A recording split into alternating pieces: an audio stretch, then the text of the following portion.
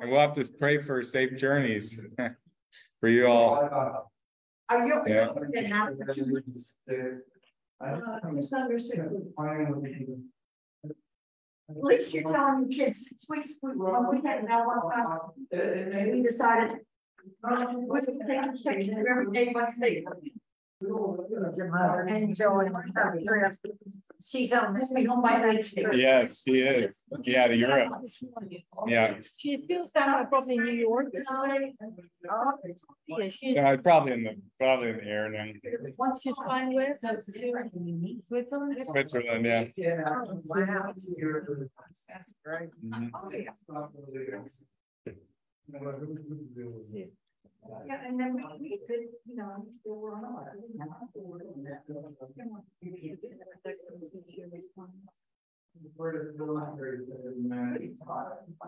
Well,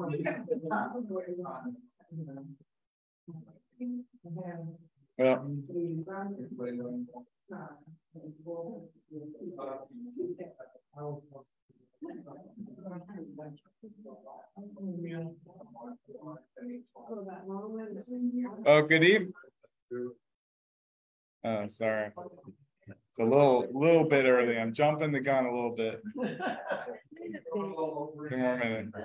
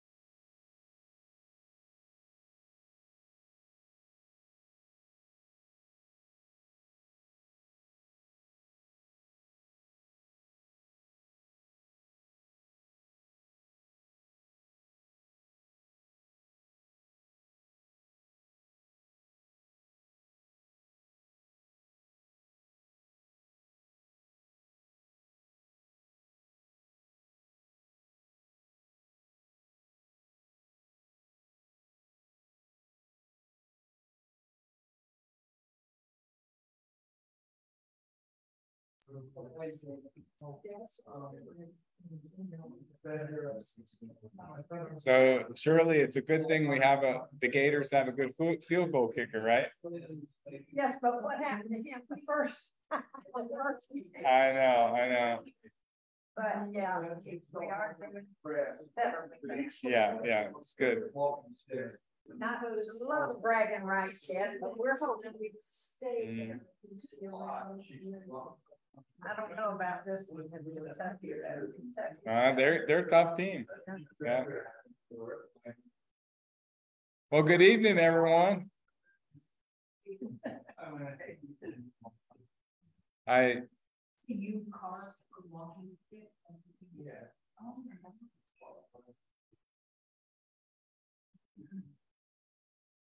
sorry to interrupt the conversation and fellowship. I, I love it. Um, and we've got a lot to pray for and celebrate today. We're going to continue in the minor prophets with Amos or Amos, or, you know, you know, most of us say Amos in English.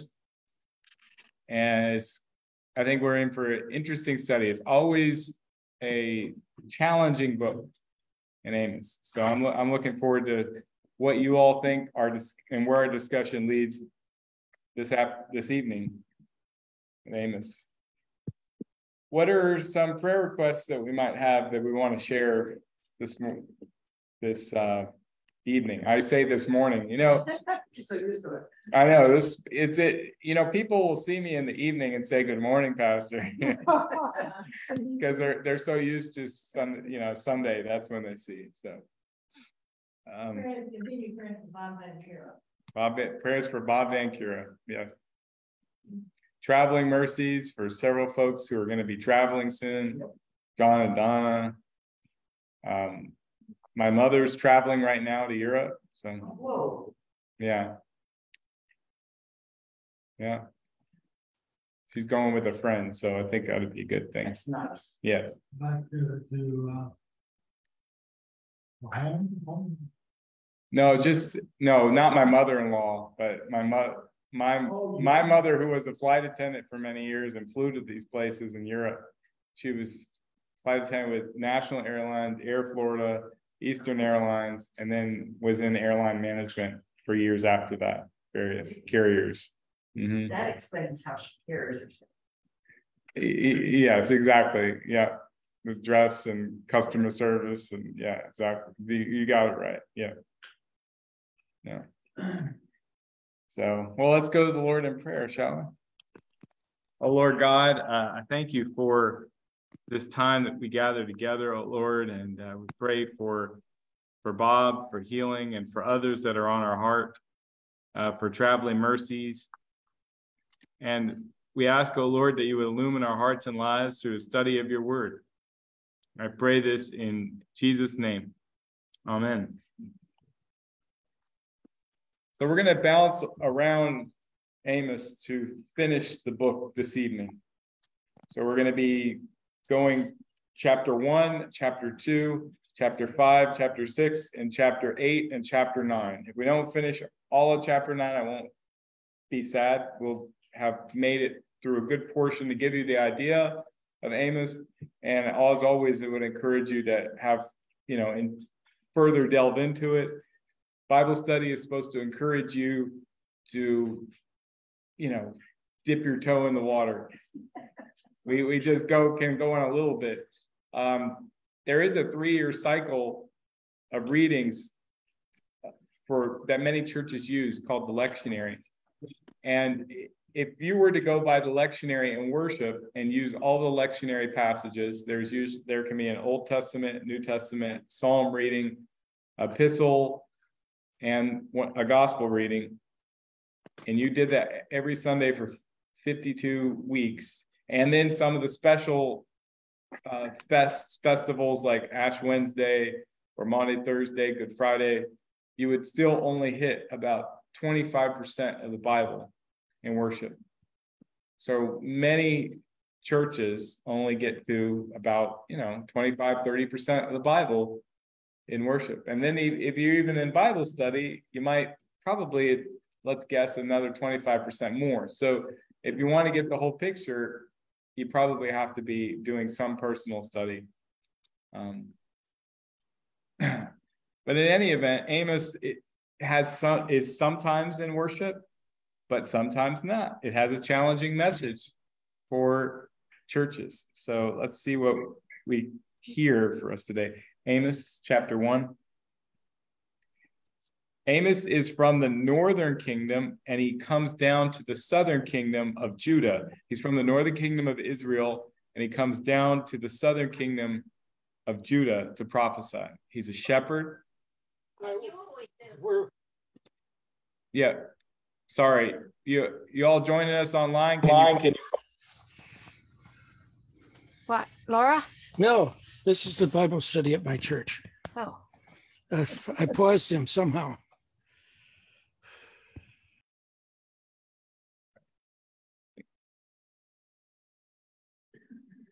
I went I went ahead, Richard, and sorry to mute you. I'm sorry.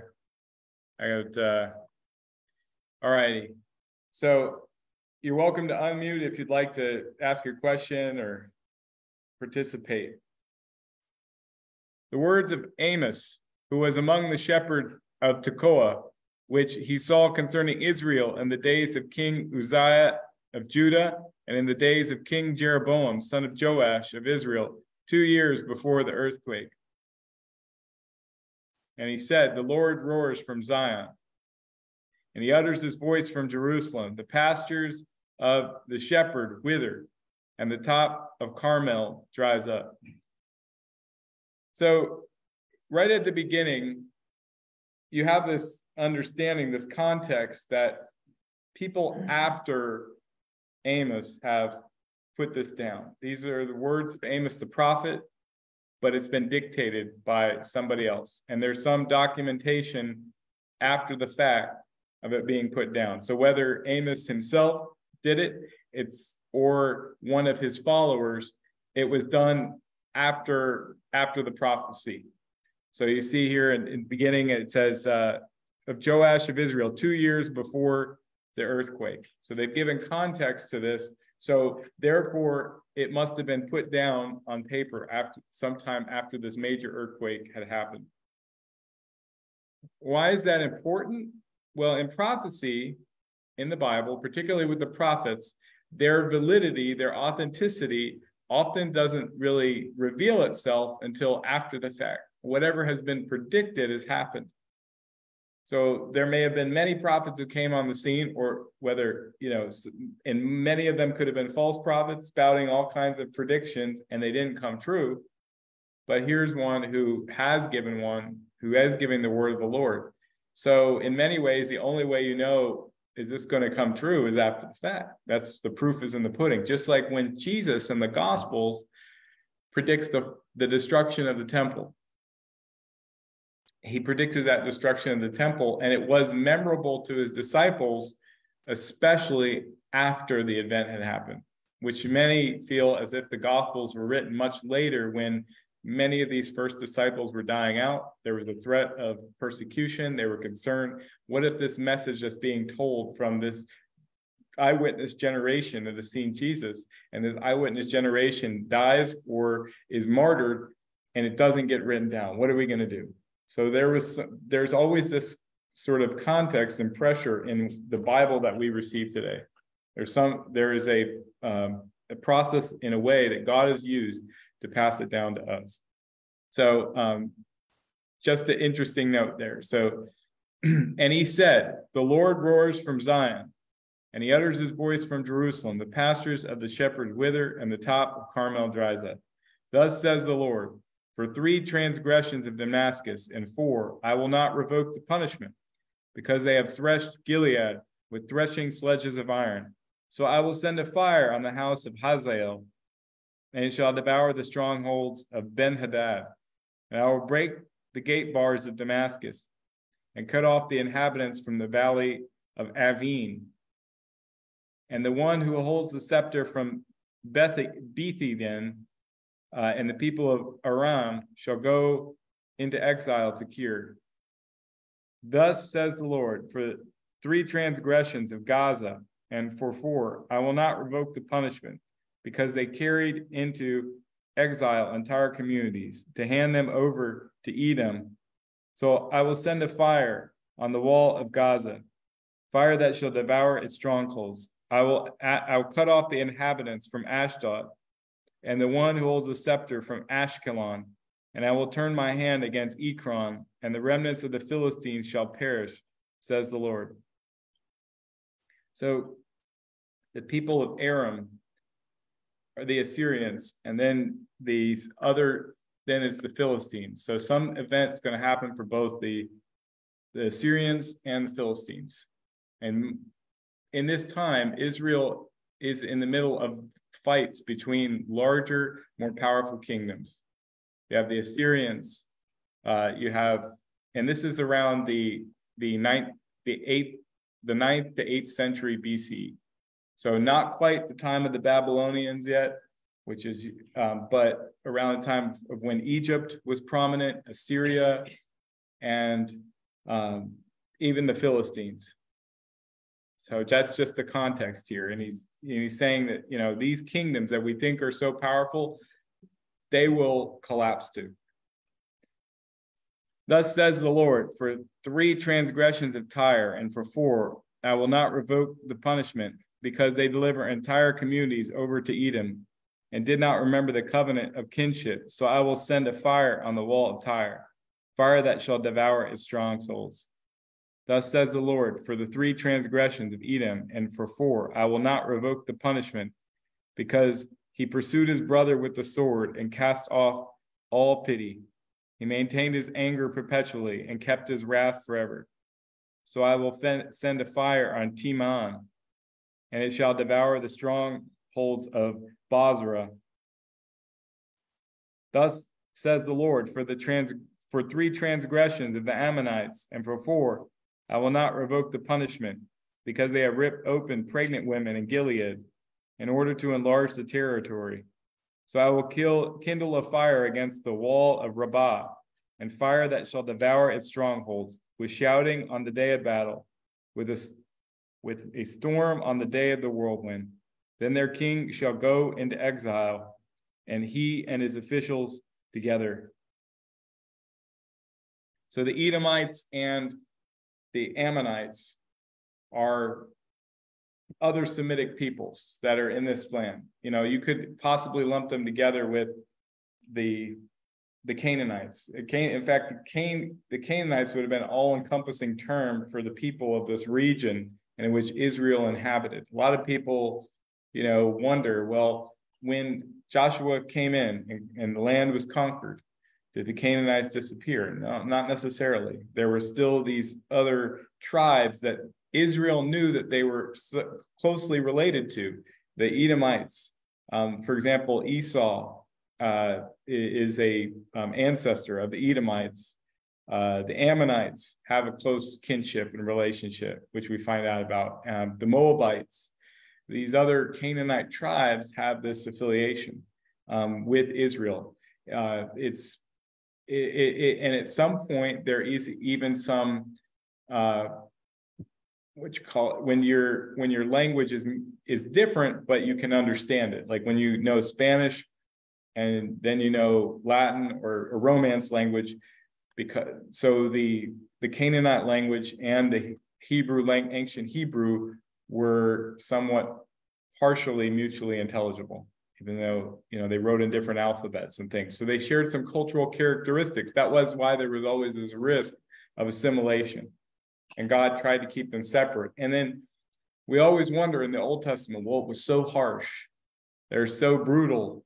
You know, God is asking them to do these brutal things. Why is God um, authorizing this? Is he blessing this? It's not that God is blessing this, but the, the extinction of these people who are supposed to be part of God's salvation plan is, is always possible without God's protection and his instruction because they live in a time where it's killed or be killed you know um so we all we wonder is it getting worse now or is it you know human beings have always had some you know serious issues you know since the fall of of humanity um since sin entered the world so this is a kill or be killed kind of world that, that Israel find itself in. And even that they themselves as 12 tribes can't even get along. So they have two different two different kingdoms that have some loose affiliation, you know. And when things are going well, they both can agree to worship in Jerusalem. When they're not, the northern kingdom is building all kinds of altars all around the kingdom. And in some ways, this leads them astray and toward idolatry. Um, so let's continue in chapter two. Thus says the Lord, for three transgressions of Moab and for four, I will not revoke the punishment because he he burned to lime the bones of the king of Edom. So I will send a fire on Moab, and it shall devour the strongholds of Kerioth. And Moab shall die amid uproar and amidst shouting and the sound of the trumpet. I will cut off the ruler from its midst, and I will kill all the officials with him, says the Lord. But lest we think that in this whole context of Canaan, that Israel and Judah are exempt, now we find out what the judgment on Judah and Israel is. Thus says the Lord, for three transgressions of Judah and for four, I will not revoke the punishment, because they have rejected the law of the Lord, and they have not kept his statutes, but they have been led astray by the same lies after which their ancestors walked. So I will send a fire on Judah, and it shall devour the strongholds of Jerusalem. Thus says the Lord For three transgressions of Israel, and for four, I will not revoke the punishment, because they sell the righteous for silver and the needy for a pair of sandals. They who trample the head of the poor into the dust of the earth and push the afflicted out of the way. Father and son go to the same girl, so that my holy name is profaned. They lay themselves down beside every altar on garments taken in pledge, and in the house of their God they drink. Wine brought with fines they impose. Yet I destroyed the Amorites the Amorite before them, whose height was like the height of cedars, and who was as strong as oaks. I destroyed his fruit above and his roots beneath, and I brought you up out of the land of Egypt and led you 40 years in the wilderness to possess the land of the Amorite. And I raised up some of your children to be prophets and some of your youths to be Nazirites. It is not indeed so, O people of Israel, says the Lord. Nazirite. So, a Nazirite would be somebody who, at birth, the parents dedicated with a special vow that they should not do certain things. Like for example drink any any alcohol or fruit of the vine or uh, cut their hair or eat you know certain things like honey depending on the kind of vow. But most mainly it's about you know not necessarily shearing the hair and not drinking exactly i was going to say that Yes. So Samson was, is an example of, of someone whose parents made a Nazirite vow. And as a result of that vow, dedicated that child to God, that God's that God endowed Samson with a special gift of his strength. But when his hair was cut and you know the beard was you know shaved, uh, it broke the vow.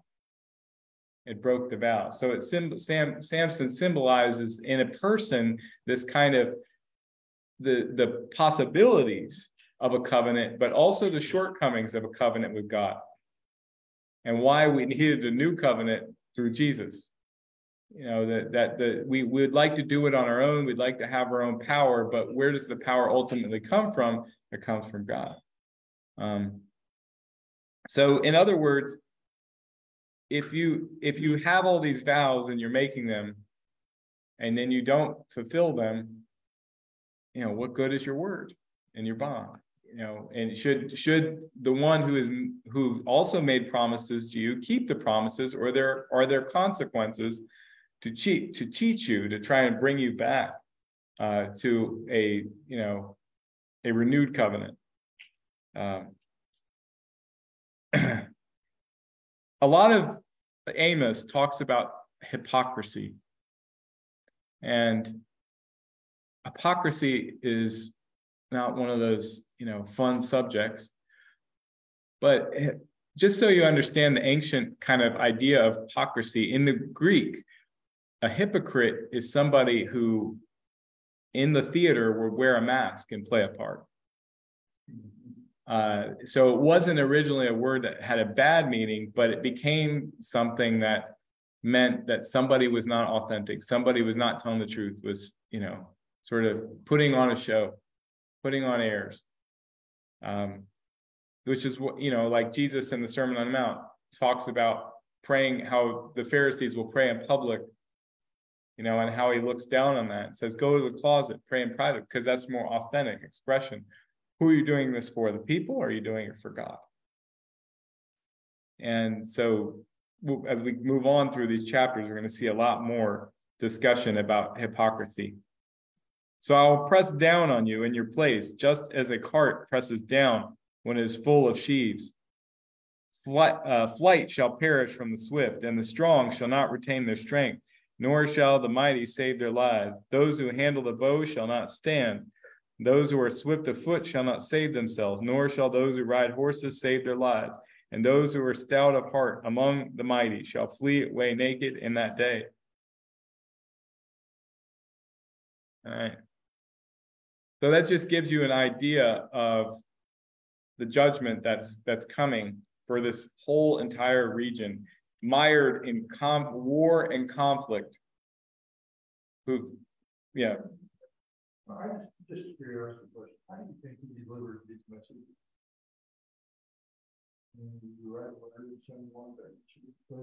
No, you deliver in a very public forum.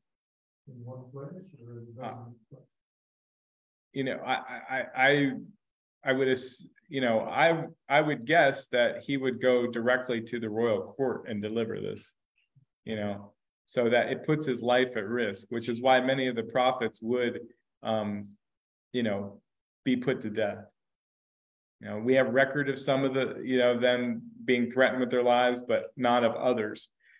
Or it could be delivered in the company of prophets, and then the prophets, it is in a company of prophets, there's like a prophetic guild. They each, you know, are, you know, bringing their prophecy that they've heard into this forum, and then then they go and share it with other people. So it could have been in all those those um places. But it's highly likely that I feel like this was done in a royal, in a royal court, in a royal context. You know, it's as if the sentence is being issued to these nations. And so the place to issue that, that and who's being held most accountable for this of a nation is, is the, um, is the royalty, is the nobility, the leaders of this. I don't know. What do you feel? As if, what, what is your sense? Are you Well, I guys? I don't know, I was just looking, thinking of hmm, the distances between some, are these all in? Well, he would. all in the Same I- or? I don't think he would go to these foreign countries and de- and deliver this. I mean, I think that it would be done in in the midst of in the midst of the court in Judah. He came he comes down from Israel to Judah as best as the scholarly consensus says.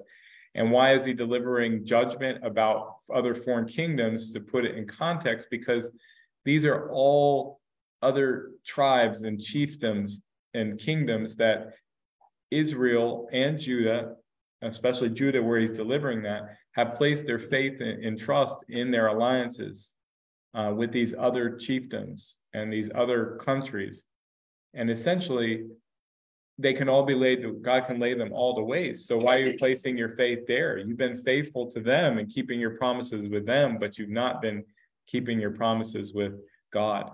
And so I think that's supposed to to get the you know the problem with alliances or something like say even you know i mean nato is in the news a lot but and i'm not you know saying anything about nato or whatever it means but just know that if a country joins nato and then one country declares another country outside of nato declares war on a nato country uh, all the other countries in that alliance are supposed to then therefore declare war on that other country.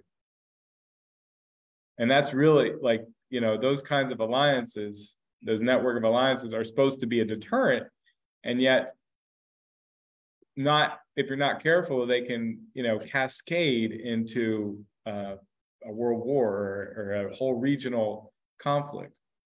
And so I think there's some God's trying to give the, the kings of Israel some diplomatic advice. You you placed your faith in the in the wrong in the wrong sort of ruling and the kingship. You've you've sought to cultivate your diplomatic or your military skills when you offer no spiritual leadership or guidance to the people. I mean, that's my I don't know. That's my take on on, on you know, and Well, I was just thinking of the drama of the situation. If I'm in Israel, and I'm under a prophet. I'm castigating all of my neighbors, yeah. I'm gonna be feeling pretty good. And then all of a sudden, he fine. Well, well, sure, that is a, yeah, you've got a good point about the drama of it. You know, all the, the king would be hearing it, it's almost as like a, a, uh. When you're gonna give somebody some bad feedback, you give them a sandwich, have you ever heard of the sandwich method, method? You're like, all right, give them some good things first. But then you tell them the reality that, that's not very good, and then you, but you end it with something good, so you, you know, you start trying to soften the blow. Or at least you get them so that they'll listen initially, and then. This is what I really need to tell to you, you know, I really need to tell you, uh, Judah. You think you've, all these other ones, well, you're in the same boat. Yeah, there's no exceptionalism here, I think that's the, the drama that you're pointing out there, which is, um. Very observant. So, um. Now, it's confusing in Amos and other prophets when they use the term Israel. They're sometimes using the all, it's sometimes a terminology for all twelve tribes. And then sometimes it refers to the northern kingdom and the southern kingdom. And then sometimes you'll see one tribe mentioned for the northern kingdom and one tribe mentioned for the southern kingdom. So the southern kingdom is easy to identify because it did Judah. And there's Judah and Benjamin, and that's the southern tribe. But the northern tribe is often hard because, like I said, it's synonymous with Israel, which mean all 12 tribes, or this people who worshiped as one true God, these descendants of Jacob, or it can mean the northern kingdom, or even the northern kingdom can be referred to, as we saw last week in Joel, as Ephraim, you know, one of the sons of Joseph, Ephraim and Manasseh, these sub tribes. So here in this chapter five, I'm going to say that it's it's referring to all 12 tribes, lumping them together, and the lack of unity that they have. Let's move to chapter 5 and in verse 1. Hear this word that I take up over you in lamentation, O house of Israel. Fallen no more to rise as maiden Israel, forsaken on her land, with no one to raise her up. For thus says the Lord, the city that marched out a thousand shall have a hundred left, and that which marched out a hundred shall have ten left. For thus says the Lord to the house of Israel Seek me and live, but do not seek Bethel, and do not enter Gilgal, and or cross over to Beersheba. For Gilgal shall surely go into exile, and Bethel shall come to nothing. Seek the Lord and live, or we will break out against the house of Joseph like fire, and it will devour Bethel with no one to quench it. Ah, you that turn justice to wormwood and bring righteousness to the ground. So now this is in this paragraph, it's a reference to specifically the northern kingdom, the house of Joseph. Uh, the one who made the Pleiades and Orion and turns the deep darkness into morning and darkens the day into night, who calls for the waters of the sea and pours them out on the surface of the earth. The Lord is his name, who makes destruction flash out against the strong, so that destruction comes upon the fortress. And uh, let's move to verse 18 in chapter 5. Alas for you who desire the day of the Lord. Why do you want the day of the Lord? It is darkness, not light, as if someone fled from a lion and was met by a bear, or went into the house and rested a hand against the wall and was bitten by a snake. Is not the day of the Lord darkness, not light, and gloom with no brightness in it? So, as Denman pointed out, you could easily gloat over the destruction of your enemies and say, Great, they're getting their comeuppance. And this initiates a day of the Lord. In other words, judgment. Good. They're getting their recompense, the recompense for the wicked. Oh no. By the way, you're in the boat too. You know, that that that kind of um, irony that is turned on them. And then God issues this uh, strong um, judgment. I hate, I despise your festivals and take no delight in your solemn assemblies.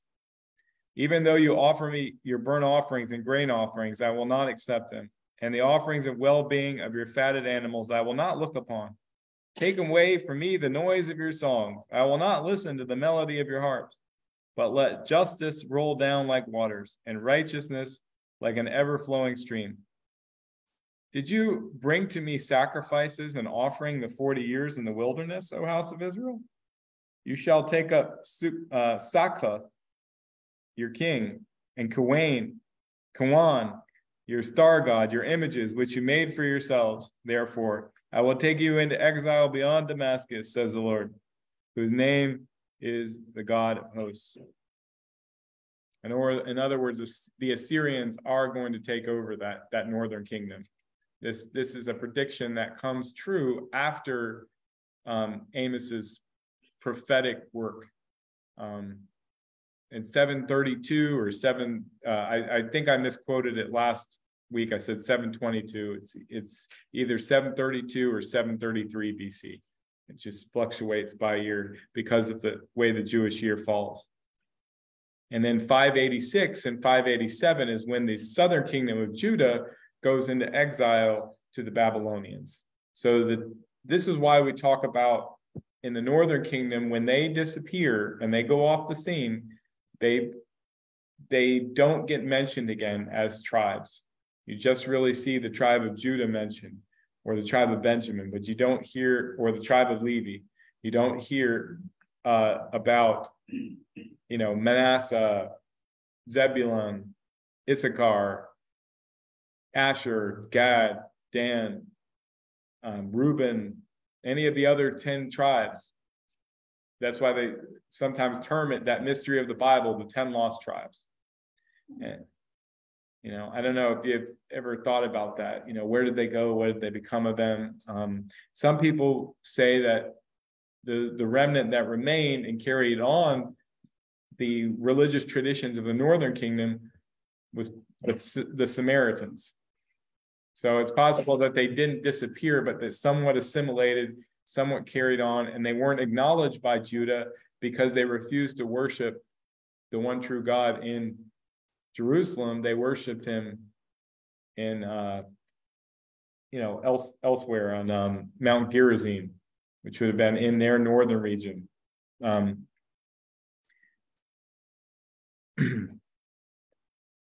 so I want to kind of take a moment to reflect on this, uh, you know, this strong statement that comes from the word is the word of Lord coming from the prophet. If you heard this as, uh, let's say, a worshiping community, I hate, I despise your festivals and take no delight in your solemn assemblies. Even though your offerings, you offer me your burnt offerings and grain offerings, I will not accept them and the offerings of well-being of your fatted animals, I will not look upon them. What, what you, how would you feel if that word came to you? No, in gloom. Yeah, Really? I know. Now we're. Yeah. I don't know where I go. I'm not, I'm not, it's disapproving. I, I'm not pleased with what you're doing. You're, a, you're not getting a good report card. you know? Um, and I and I think that there's a sense to where the hypocrisy is there. They're doing it outwardly, but are they really, do they really have the relationship with God inwardly? They're using English towels. Yeah. They're hedging their bets, Uh-huh. right? And if we do that, you'll, he'll, he'll understand it. Hmm Do you really mean what you're doing? Yeah. We had a district superintendent some years ago, no names mentioned. And we had a joint charge conference, uh, district wide. And the district superintendent did this kind of thing. And Mm. said, this church is not doing, you're not, doing- you're not, doing." very awkward situation. hmm Something more, yes. to a- Yeah, prophecy being having prophetic a prophetic ministry. So sometimes they talk about that is how do you see anybody have a prophetic ministry? And most of the time we're talking about, you know, future telling or fortune telling.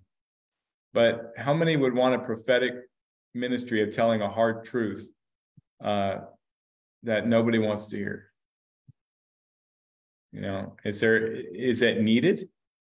Um, how do you tell people truth in a way that they will hear it or not hear it? Or what? What is your role when you do it? Or are you just supposed to state it if God lays it on your heart and leave or risk your life for it? So, um, what are some, say, truth that people just don't want to hear? I mean, you could think about it personally or even in a society, you know, if you want to answer. Just curious. Well, before you got here, the DS said you, the minister that you love will move.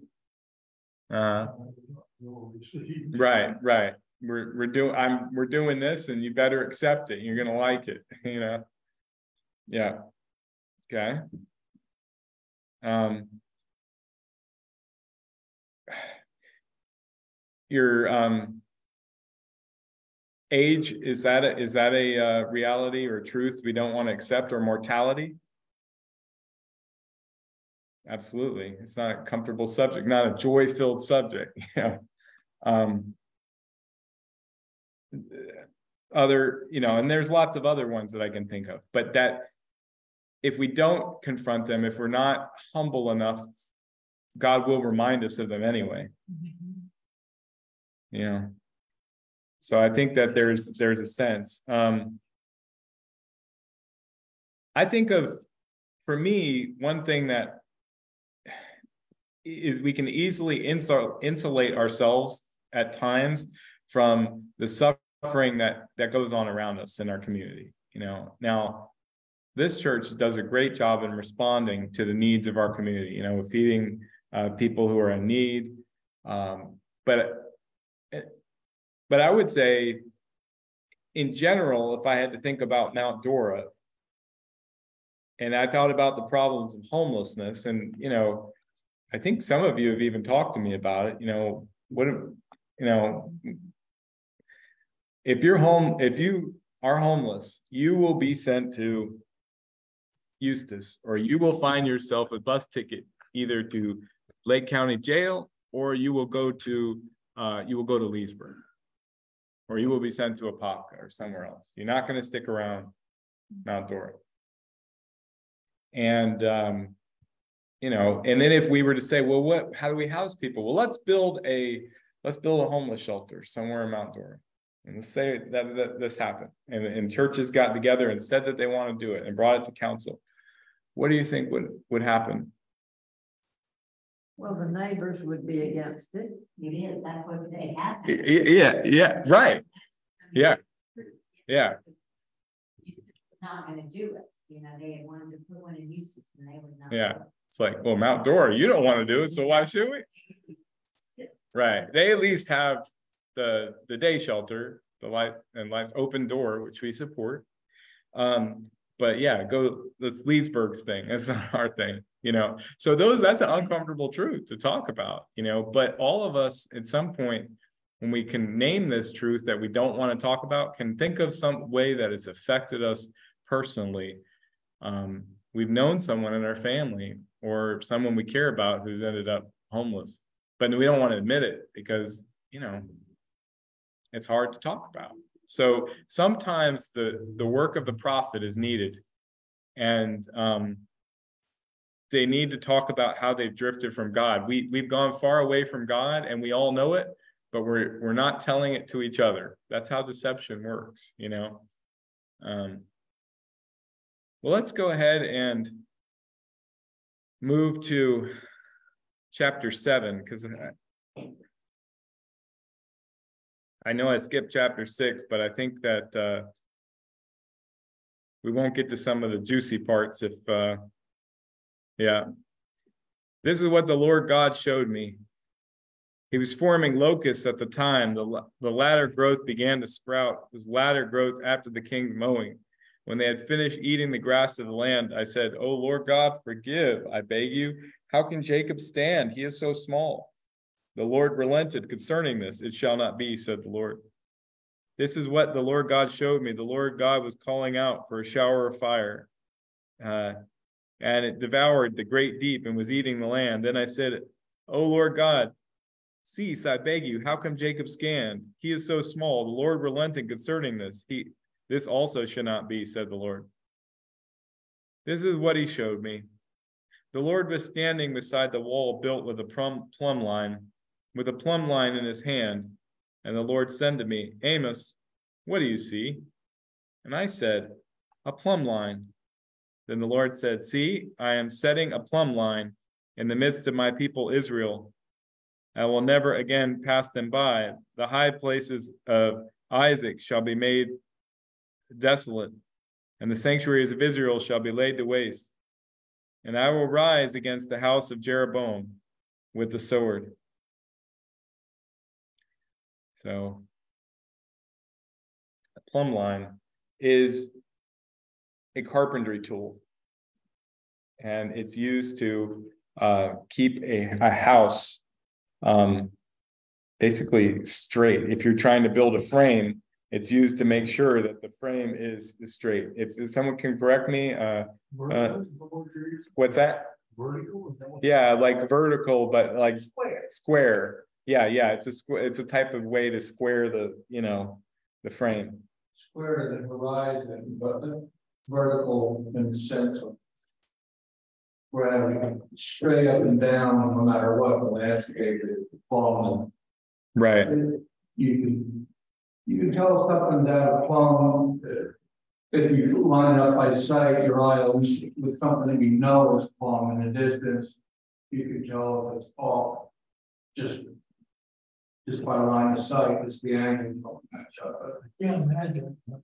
Well, Is there anything here that they want? Is there anything here? Sixteen ounce bread, pump, uh, not too many people out on their. Toolbox. and- Right. It's just a curiosity. it's a string with a little, yeah, thing. My life. Yeah, I mean, hanging pictures on a wall, to right. building a. Now we use a, now we use a level or a bubble, you know, laser level, uh, you know, we have these other technologies that kind of thing, but I'm gonna, you know, keep you level and solid. Um. Yeah. So here's, here's the, yeah, You know, sometimes you, you know something, but you don't know the name for it. And, you know, cause I can remember, go get the string, I knew when they said that, that it was the string with the weight on it. yeah, But they didn't say plumb line, cause I would think a piece of fruit when I was young. right, And then when I got older, they still said, go get the string, and I knew what they meant. But because they were simplifying when I was little, and then it just carried through. right. So here's the context of, of Amos, how we know he went to, actually, I got it reversed. He was from the south in Judah and he comes up to the north. So this is the, this is where we know the context that it's in the, it's in the court. Uh, in verse ten here, it says, uh, then Amaziah, the priest of Bethel. Uh, this is Bethel's in the northern kingdom, sent to King Jeroboam of Israel, saying, Amos has conspired against you in the very center of the house of Israel. The land is not able to bear all his words, for thus Amos has said, Jeroboam shall die by the sword, and Israel must go into exile away from this land. And Amaziah said to Amos, O seer, go flee away to this land of Judah, earn your bread there, and prophesy there, but never again prophesy at Bethel, for it is the king's sanctuary and is a temple of the kingdom. Then Amos answered to Amaziah, I am no prophet, nor a prophet's son, but I am a herdsman and a dresser of sycamore trees. And the Lord took me from following the flock. And the Lord said to me, Go prophesy to my people Israel. Now therefore hear the word of the Lord. You, say, Do not prophesy against Israel, and there do not preach against the house of Isaac. Therefore, thus says the Lord, Your wife shall become a prostitute in the city, and your sons and daughters shall fall by the sword, and your land shall be parceled out by line. You yourself shall die in an unclean land, and Israel shall surely go into exile from away from its land. Ouch. You know? Yeah, you're just basically hearing that your whole country or kingdom as you know it is going to collapse. You know, and there's no room or nothing that you can do about it. It's as if this it's too late. There's no there's no repent, you know, this is the what it's going to be. Um, you know, don't shoot the messenger, and yet the, he is the bearer of bad news. So, um, yeah. Uh, now, chapter eight. This is what the Lord God showed me: a basket of summer fruit. He said, "Amos, what do you see?" And I said, "A basket of summer fruit." Then the Lord said to me, The end has come upon my people Israel. I will never again pass them by. The songs of the temple shall become wailings in that day, says the Lord. The dead bodies shall be many, out, cast out in every place. Be silent. Hear this, you that trample on the needy and bring to ruin the poor of the land, saying, What will the new moon be over so that we may sell grain, and the Sabbath so that we may offer wheat for sale? We will make the ephah small and the shekel great, and practice deceit with false balances, buying the poor for silver and the needy for a pair of sandals, and selling the sweepings of the wheat.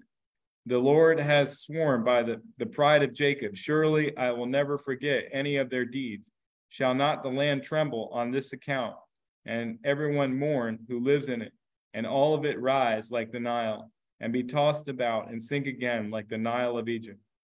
On that day, says the Lord God, I will make the sun go down at noon and darken the earth in broad daylight. I will turn your feasts into mourning and all your songs into lamentation.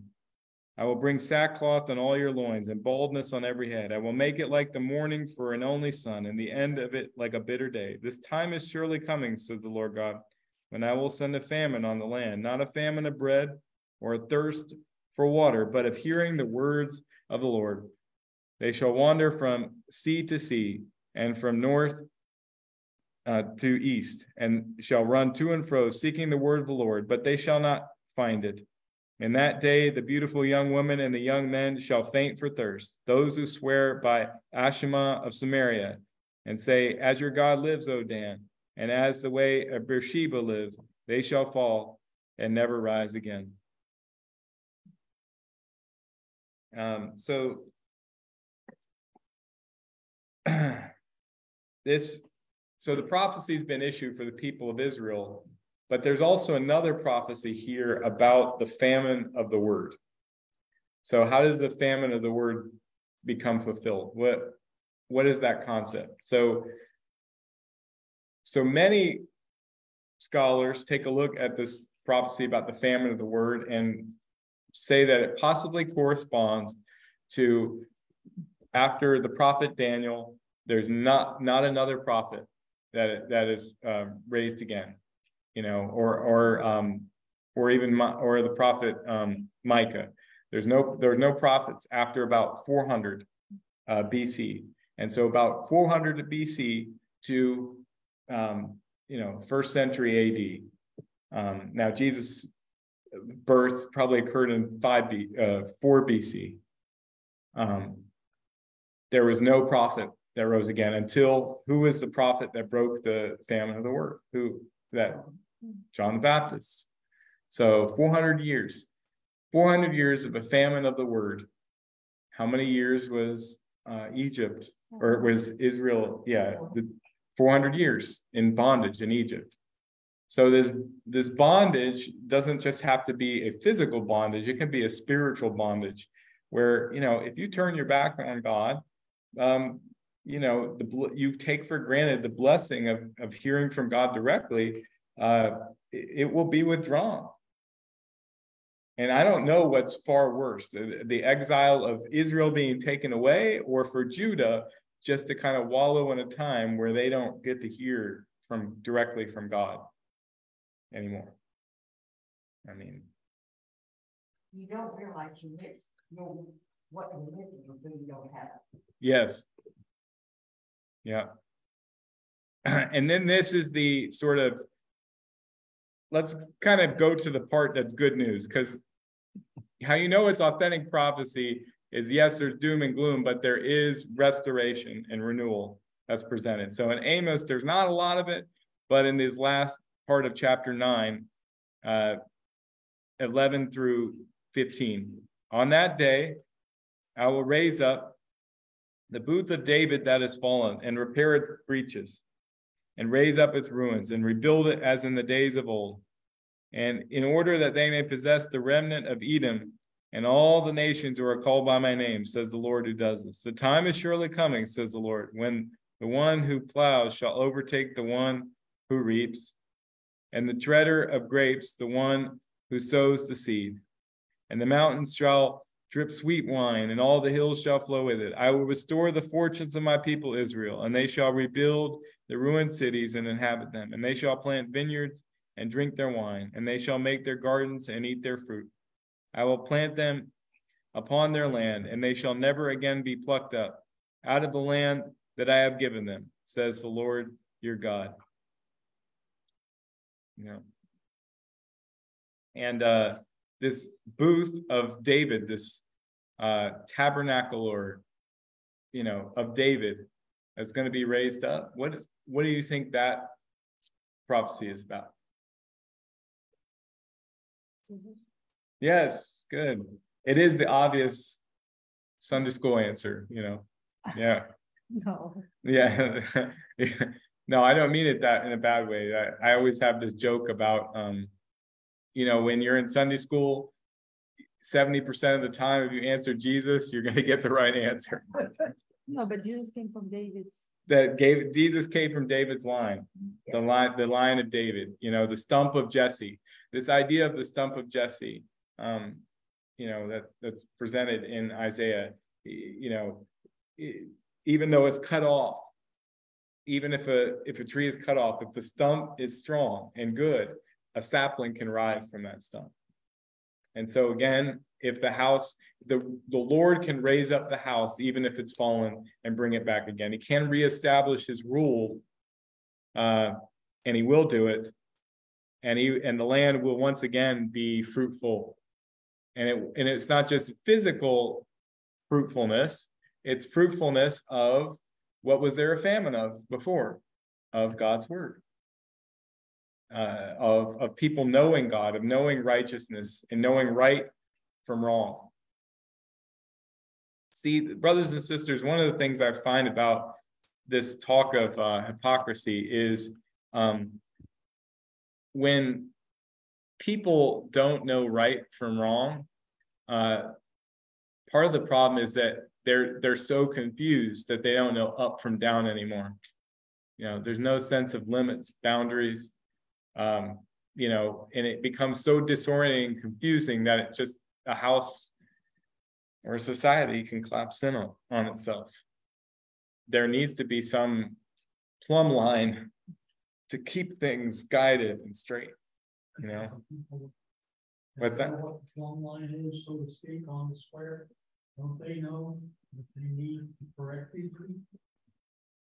Well, I, I, I think the problem is, is that we would want to lie to ourselves, you know, that um you know, or or not just ourselves, you know, I mean, all of us can at times, as I said, indicated with certain truths that we don't we want to deny about ourselves, but as a society as a whole, you know, well, poverty is a problem, but somebody else will do something about it, you know. Our education system's a problem, and you know, somebody else will do something about it. Yeah. Yeah.